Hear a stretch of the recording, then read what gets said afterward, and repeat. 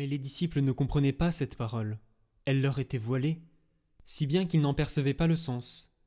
Ils avaient peur de l'interroger sur cette parole.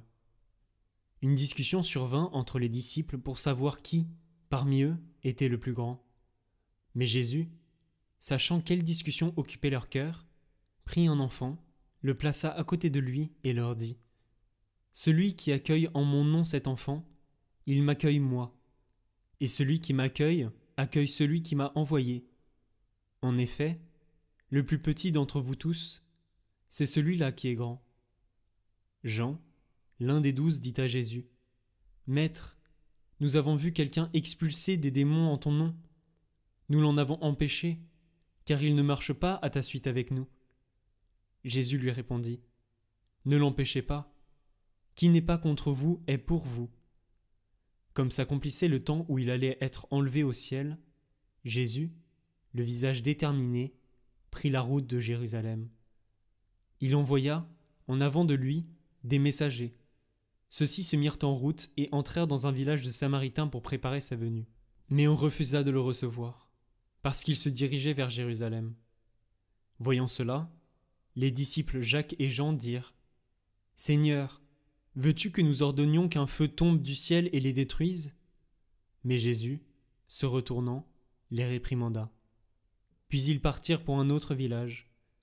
En cours de route, un homme dit à Jésus Je te suivrai partout où tu iras.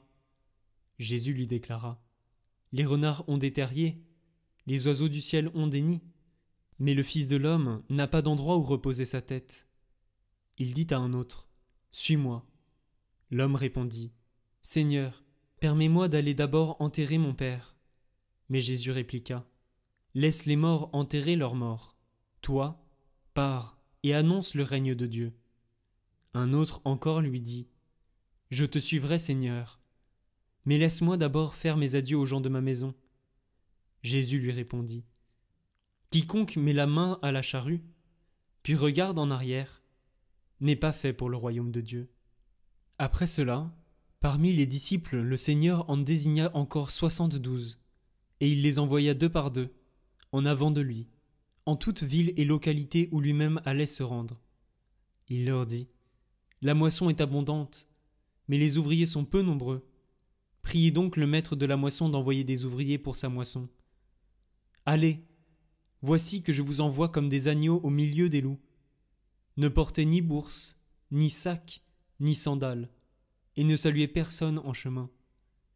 Mais dans toute maison où vous entrerez, dites d'abord paix à cette maison. S'il y a là un ami de la paix, votre paix ira reposer sur lui, sinon elle reviendra sur vous. Restez dans cette maison, mangeant et buvant ce que l'on vous sert, car l'ouvrier mérite son salaire. Ne passez pas de maison en maison.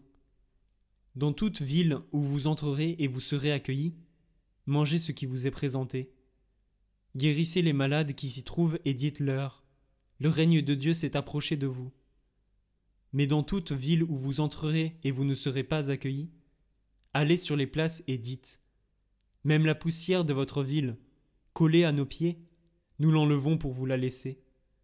Toutefois, sachez-le, le règne de Dieu s'est approché. Je vous le déclare, au dernier jour, Sodome sera mieux traité que cette ville. Malheureux es-tu, Corazine Malheureux es-tu, Bethsaïde? Car si les miracles qui ont lieu chez vous avaient eu lieu à Tyr et à Sidon, il y a longtemps que leurs habitants auraient fait pénitence avec le sac et la cendre. D'ailleurs, Tyr et Sidon seront mieux traités que vous lors du jugement. Et toi, Capharnaüm, seras-tu élevé jusqu'au ciel? Non, jusqu'au séjour des morts tu descendras. Celui qui vous écoute m'écoute. Celui qui vous rejette me rejette, et celui qui me rejette rejette celui qui m'a envoyé. Les soixante-douze disciples revinrent tout joyeux en disant Seigneur, même les démons nous sont soumis en ton nom. Jésus leur dit Je regardais Satan tomber du ciel comme l'éclair. Voici que je vous ai donné le pouvoir d'écraser serpents et scorpions, et sur toute la puissance de l'ennemi. Absolument rien ne pourra vous nuire. Toutefois, ne vous réjouissez pas parce que les esprits vous sont soumis, mais réjouissez-vous parce que vos noms se trouvent inscrits dans les cieux.